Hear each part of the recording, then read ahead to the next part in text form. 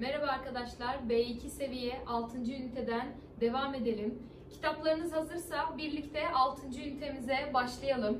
Bakalım 6. ünitemizin adı nedir? Bakın ne diyor? Şaştım, kaldım. 6. ünitemizin adı şaştım, kaldım. Peki neler var? Bağlaçlar. Bakın B2'nin son ünitesi bağlaçlarla dolu bir e, ünite diyoruz. Bakalım hangi bağlaçlar? Oysa ki, halbuki, meğerse, madem ki, ne var ki, ne yazık ki, neyse ki, deda, üstelik, hatta, ayrıca, bununla birlikte, bununla beraber diyoruz. Bunlar bizim Türkçe'de çok tercih ettiğimiz bağlaçlarımız. Peki ne zaman hangi bağlacı kullanıyoruz? Bunlara da şimdi beraber bakalım diyoruz. Birinci bölüm doğru bilinen yanlışlar demiş. Doğru bilinen yanlışlar. Doğru zannettiğimiz fakat aslında yanlış olan durumlardan bahsedeceğiz. Şimdi bağlaçlarımıza bakalım. Oysa ki, halbuki, meğerse, madem ki, ne var ki, ne yazık ki, neyse ki. Cümlenin içinde nasıl oluyor bakalım. Onu çok özledim. Oysa ki daha dün gitti. Gelemeyeceğini söyledi. Halbuki boş zamanı vardı. Arkadaşımın İzmir'e gittiğini sanıyordum. Meğerse Ankara'daymış. Madem ki sözünü tutmayacaksın, neden söz veriyorsun? Teknoloji hızla gelişiyor. Ne var ki dünya kirleniyor. İnsanlara hep iyi davrandı. Ne yazık ki kendisi kimseden bir iyilik göremedi. Dün bir yolcu uçağa düşmüş. Neyse ki kimseye bir şey olmamış. Bakın farklı cümleler farklı manadaki bağlaçlarla birlikte yazılmış. Bunlara birazdan ne olduğuna bakacağız. Şimdi hazırlık çalışmasında diyor ki rüyalarımız ne anlama geliyor? Şimdi bazı rüya çeşitlerinden bahsetmiş burada. Şöyle. Bakın rüyada gördüğümüz bazı şeyler. Nedir bunlar? Diş, ev, uçmak, okul, araba, telefon, fırtına, su. Peki bunların anlamlarını eşleştirelim. Şöyle aşağıda cevaplar yazıyor. Bunları anlamlarına göre eşleştirin diyoruz. Gelelim okuma bölümüne. Bakın ne diyor? İnsan vücuduyla ilgili bilmediklerimiz. İnsan vücudu tuhaftır, değişiktir, farklı özellikleri vardır. Bu metni yüksek sesle okuyun ve sonra bakın metinle ilgili şöyle 5 tane doğru yanlış. Burada da bakın yine 4 tane eşleştirme yapacağımız cümle var. Bunları yapın, fotoğrafını çekin ve bize gönderin diyoruz. Şimdi ne dedik? Bağlaçlar. Dil bilgisi bölümünde bağlaçlar dedik. Bağlaçlar nedir? Önce bunu hatırlayalım. Şimdi bağlaçlar neydi? İki cümleyi birleştiren ve farklı manalarda e, bunlara anlam veren kelimeler değil mi bağlaçlar? Sadece kelime olmak zorunda değil. Ne demiştik çünkü? De, da, ve bunlar kelime değil. Bunları da yine farklı manalarda birleştirmek için kullanıyoruz dedik. Şimdi en çok kullandığımız bağlaçlara bakalım. Oysa ki halbuki bunlar aynı manada olan bağlaçlarımız. İkisini de tercih edebilirsiniz. Oysa ki halbuki. Peki neden kullanıyoruz? Buralar önemli. Karşıtlık, zıtlık, aykırılık. Yani ters bir durum var. Zıt bir durumu anlatmak için kullanıyoruz. İki cümleyi tersine, dığı halde manasıyla, zıtlık manasında birleştiriyor. Peki bakalım örneklere. Üniversite sınavında başarılı olamadım. Oysa ki ne çok çalışıyordum. Şimdi ben çok çalıştım sınava fakat başarılı olamadım. Düşük puan aldım. Bu zıt bir durum değil mi? Evet zıt bir durum. Çünkü çok çalıştım fakat düşük puan aldım. İşte böyle zıt, ters durumları anlatmak için Oysa ki halbuki bağlaçlarını kullanıyoruz. Başka?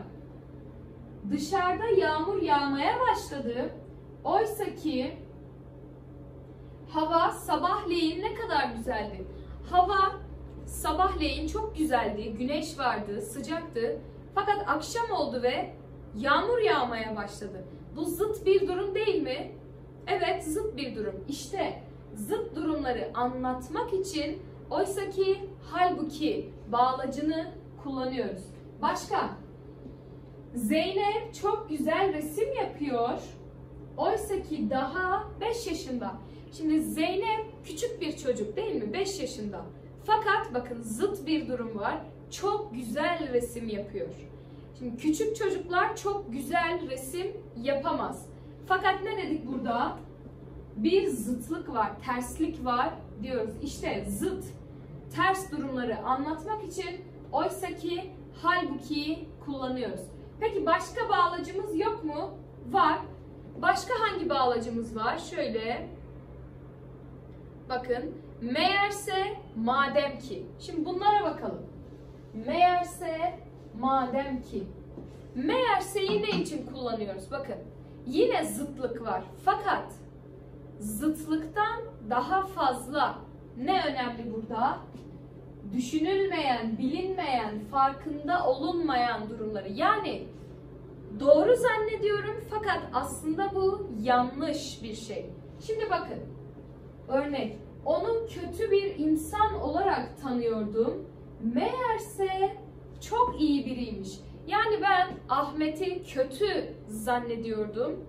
Ne oldu? Meğerse yani tam tersi sonradan ne oldu? Yanlış olduğunu fark ettim. Meğerse çok iyi biriymiş.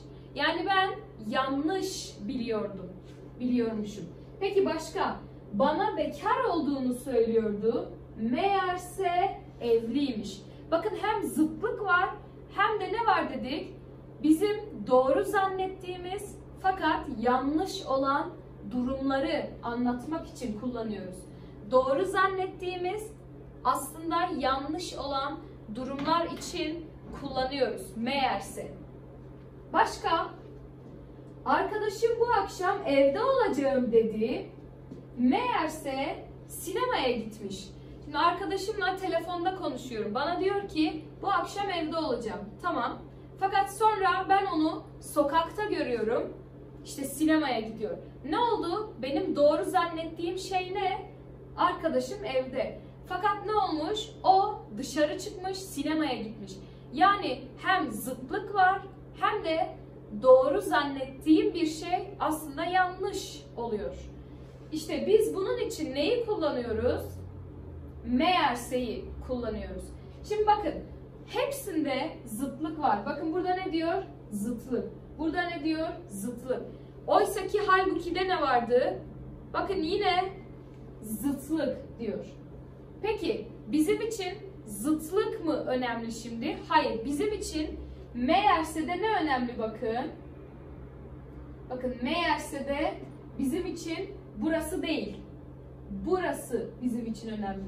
Doğru zannettiğimiz fakat yanlış olan durumlar önemli. Peki bakalım diğer bağlacımıza şöyle siliyorum. Nereye geldik? Madem ki. Madem ki şöyle yukarı çıkarayım. Madem ki. Madem ki nedir? Madem ki bakın ne diyor? Sebep ve zıtlık. Sebep ve zıtlık. Nasıl yani? Dığı için. Hatırlayın dığı için, dığından dolayı, dığından. Biraz sebep zarf fiiline benzemiyor mu? Evet benziyor. İşte burada da sebep ve zıtlık için kullanıyoruz. Dığı için, dığına göre manasında. Cümleye bakalım. En çok başta kullanıyoruz. Madem ki gecikecektin yani geç kalacaktın. İkide buluşalım demeseydin. Yani zaten geç kalacaktın. Neden bana ikide buluşalım, görüşelim dedin? Madem ki gelmeyeceksin, neden haber vermiyorsun? Madem ki söylemek istediğin bir şey var, niçin susuyorsun? Bakın cümledeki sebebi ve zıtlığı anlatmak için kullanıyoruz. Sebep ve zıtlık bizim için önemli. Ama en önemlisi ne? Sebep. Sebep bizim için önemli diyoruz. Devam edelim. Ne var ki? Şimdi bu basit. Neden? Çünkü biz ama, fakat, lakin bu kelimeleri çok kullanıyoruz. Ama, fakat. İşte ne var ki ama fakat manasında kullanılan bir bağlaç. Şöyle göstereyim. Ama fakat ne var ki? Bunlar aynı. Ama fakat ne var ki? Ne diyor bakın yine zıtlık var. Peki hangi manada? Ama fakat lakin ya da ancak. Bakın bunların hepsi aynıdır. Ancak ama fakat lakin ne var ki? Beş tane kelime aynı manada. Cümlelerde bakalım. Elbisenin rengi çok güzel. Ne var ki hemen buraya ama diyebiliriz. Ama ne var ki fakat biraz eski gibi görünüyor. Bakın zıtlık değil mi? Elbise çok güzel. Ne diyorum? Biraz eski. Ama fakat ne var ki? Bunlar aynı diyoruz. Devam. Ali Usta bozuk çamaşır makinesini en iyi şekilde tamir eder. Ne var ki çok para ister. O zaman buraya ne diyorum? Aynı manada. Fakat diyebilirim. 3. Ödevlerine yardım ederim. Ne var ki önce benim sözümü dinleyeceksin. Buraya da yine ama yazıyorum. Bakın tamamen aynı manada, aynı vazifede kullanıyoruz. Bu basit dedik. Devam edelim. Ne yazık ki. Ne yazık ki. Siliyorum bunu da. Ne yazık ki. Şimdi ne yazık ki yine zıtlık için kullanılıyor. Bakın hepsinde zıtlık var. Ama önemli olan burası mı? Hayır. Önemli olan burası. Beklenmeyen, acı ve kötü bir durumu anlatmak için kullanılır. Kötü bir durum. Şimdi Türkçe'de ne yazık ki kelimesini kullanıyoruz. Bir de bununla aynı anlamda bir kelime daha var. Bunu da çok kullanıyoruz. Hemen yazıyorum. Bence tahmin edebilirsiniz. Maalesef. Bakın ikisi tamamen aynı. Ne yazık ki maalesef. Şimdi kontrol edelim. Canım tatlı yemek istiyor. Ne yazık ki evde hiç tatlı kalmamış. Hemen buraya maalesef diyorum. Maalesef evde hiç tatlı kalmamış. Bayramda onlarca trafik kazası olmuş. Ne yazık ki yüzlerce insan ölmüş. Maalesef yüzlerce insan ölmüş. Doktordan geliyorum. Ne yazık ki midemi ciddi bir biçimde üşütmüşüm. Maalesef midemi üşütmüşüm diyoruz.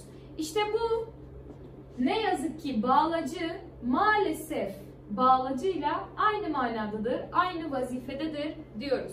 Devam edelim. Neyse ki Şimdi neyse ki ne yazık ki'nin tam tersidir.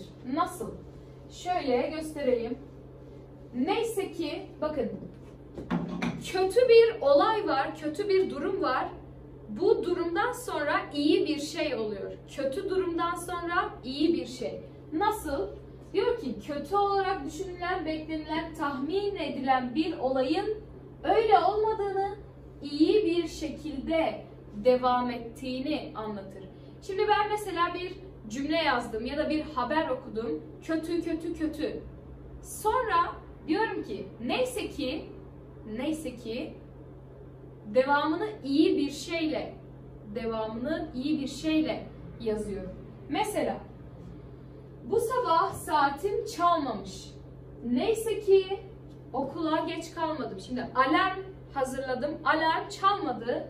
Ne diyorum? Neyse ki okula geç kalmadım.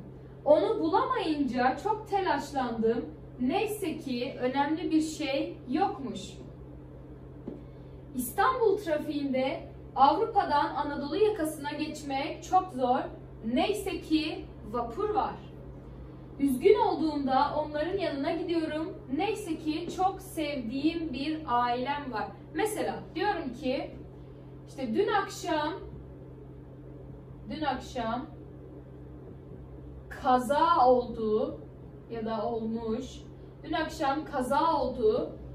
Neyse ki bakın kaza kötü bir şey değil mi? Evet. Şimdi ben kötü cümlenin devamını iyi bir şey olarak yazacağım. Dün akşam kaza oldu. Ne diyorum? Neyse ki kimseye bir şey olmadı değil mi? Neyse ki kimseye bir şey olmadı.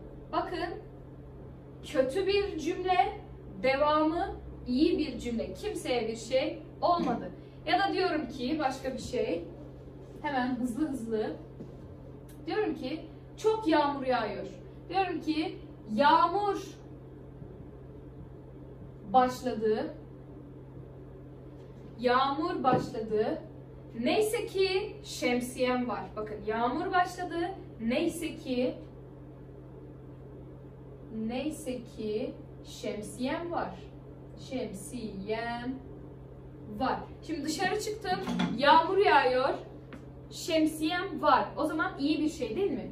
Yağmur başladı. Bu biraz olumsuz, kötü bir şey. Ama ne diyorum?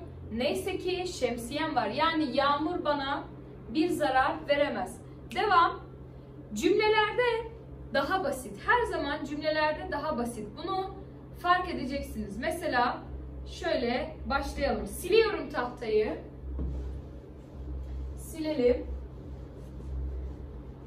Bakın burada da 12 tane cümle var. Şimdi bakalım hangi bağlaçları yazabiliriz? Hangi bağlaçları öğrendik?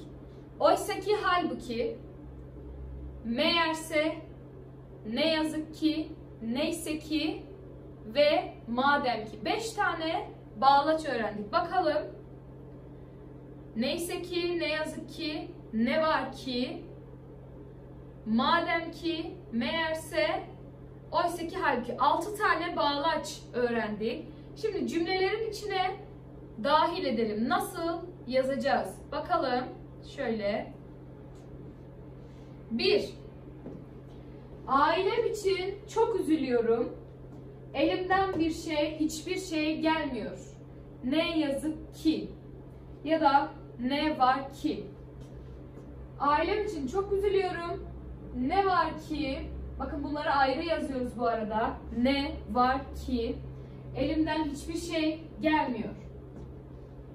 Amcam bir trafik kazası yapmış. Kötü bir şey. Cana geleceğine mala gelmiş. Yani kaza yapmış fakat amcamda bir problem yok. Malları zarar görmüş. O zaman ne diyorum? Amcam bir trafik kazası yapmış. Ne diyeceğiz? Bir trafik kazası yapmış. Neyse ki neyse ki cana geleceğine mala gelmiş diyoruz. 3. Biz soğuktan donuyorduk. O üşümüyordu ve havanın güzel olduğunu söylüyordu. Biz soğuktan donuyordu. Halbuki oysa ki oysa ki halbuki 4. Çok zeki bir öğrenci ne diyeceğiz? Ne var ki ya da ne yazık ki maalesef hiç çalışmıyor. Çok zeki fakat hiç çalışmıyor. Peki hasta olduğum için okula gidemiyordum. Neyse ki çabuk iyileştim. Neyse ki çabuk iyileştim. 6. Kendini iş güç sahibi, zengin biri olarak tanıtmış. Meğerse meğerse ne bir işi ne de bir mesleği varmış. Bu bir bayram günü küs olanlar barışmalı. Madem ki madem ki en başa yazıyoruz demiştim. Madem ki bu bir bayram günü küs olanlar barışmalı. 8. O hiç düşünmeden insanlara güvenir. Ben öyle bir insan değilimdir. Ne diyorum? Halbuki. Halbuki ben öyle bir insan değilimdir. Onu dürüst bir insan sanıyordum. Bakın doğru zannettiğim fakat aslında yanlış olan bir şey. Meğerse meğerse yalancının biriymiş. Sana haber vermeliydim. Ne diyeceğiz? Ne var ki? Ne var ki? Unutmuşum. Yine geç saatlere kadar çalışacağını söylüyor. Onun biraz dinlenmesi gerekiyor. Oysa ki oysa ki onun biraz dinlenmesi gerekiyor. Çocukları olmuyor, onlar da evlat edinmeyi düşünsünler. Madem ki madem ki çocukları olmuyor, onlar da evlat edinmeyi düşünsünler dedik. Bakın bunlar bu bağlaçlar bizim için önemli. Çünkü biz bunları çok kullanıyoruz. Devam. Şimdi küçük bir hikaye var burada. Siliyorum tahtayı. Bu hikayenin içine bazı neyi yerleştireceğiz bakın. Bazı bağlaçlarımız var. Oysa ki, halbuki, meğerse, madem ki, ne var ki, ne yazık ki, neyse ki. Bakalım. Bakalım. Başlıyorum. Evlilik teklifi. 76 yaşında dul bir kadın ile 80 yaşında dul bir adam aralarındaki dostluğu 2 yıldır sürdürüyorlardı.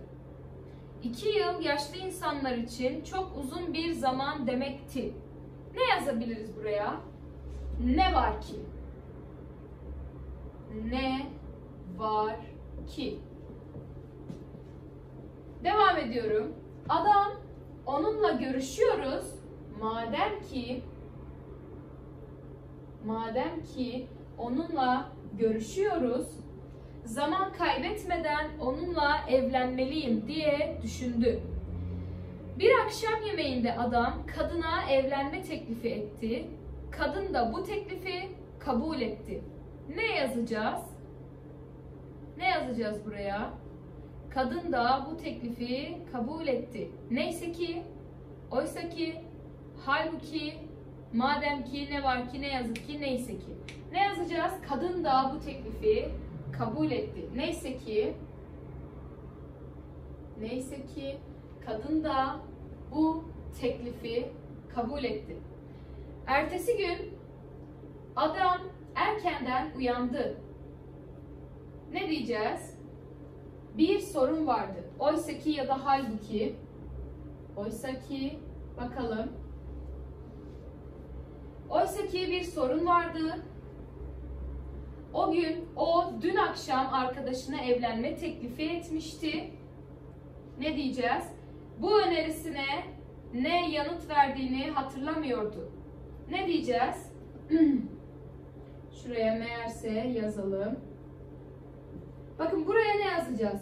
Halbuki halbuki hemen yazıyoruz. Hal bu ki bu önerisine arkadaşının ne yanıt verdiğini hatırlayamıyordu.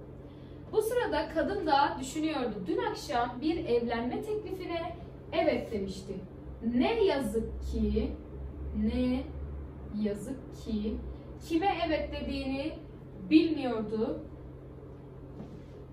Adam hemen kadına telefon etti ve arkadaşına dün akşamki önerisine evet mi yoksa hayır mı dediğini sordu. Telefonun öteki ucundan kadının kocaman kahkahası yükseldi. İyi ki aradın George. Ben de kimin evlenme önerisine evet yanıtını verdiğimi anımsamaya çalışıyordum. Meğerse senmişsin diye bitiriyoruz metnimizi. İşte bakın metnin içine böyle küçük küçük bağlaçlarımızı dahil ediyoruz. Peki devam. Geldik dinleme, yazma, konuşma bölümüne. Bakalım şöyle. Şimdi dinleme metni için bizimle iletişime geçin ve daha sonra metinle ilgili burada bazı eşleştirmeler var ve bazı devamını yazmanız gereken cümleler var. Bunları yazın, fotoğrafını çekin, bize gönderin diyoruz. Yazma ve konuşmaya bakalım. Ne diyor yazma bölümünde? Diyor ki dil yanlışları ile ilgili Türkiye'de bir problem yaşadınız mı? Yani mesela bir şey anlatmak istiyorsunuz. Telaffuzunuz yanlış olduğu için insanlar sizi farklı bir şekilde anladı ve size yanlış cevaplar verdi. Yani telaffuz yüzünden böyle hatalar oldu mu? İşte burada küçük bir hikaye var bununla ilgili. Siz de bunu okuyun.